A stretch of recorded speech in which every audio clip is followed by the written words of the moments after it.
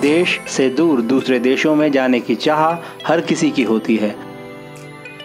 कोई घूमने तो कोई पढ़ने या फिर कोई नौकरी की तलाश में। बहुतों की ये ख्वाहिश पूरी नहीं हो पाती, क्योंकि उनका पॉकेट उन्हें इजाज़त नहीं देता। रहने और घूमने फिरने के खर्च का सोचकर लोग अपना मन मार लेते हैं।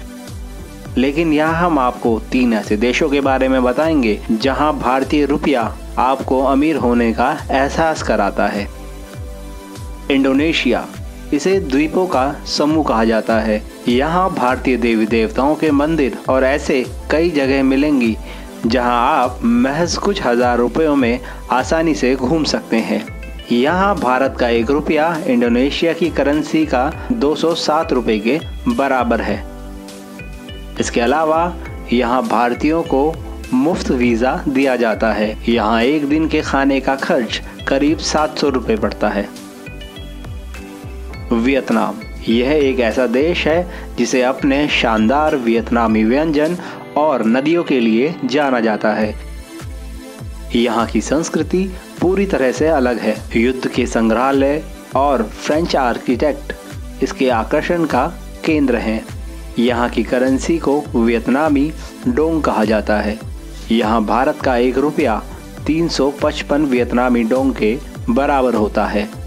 यहाँ तक कि वियतनाम के लिए कई डायरेक्ट फ्लाइट्स भी उपलब्ध हैं। बताते चले कि दिल्ली से वियतनाम का कम से कम किराया अभी आठ हज़ार दो सौ पाँच रुपये है।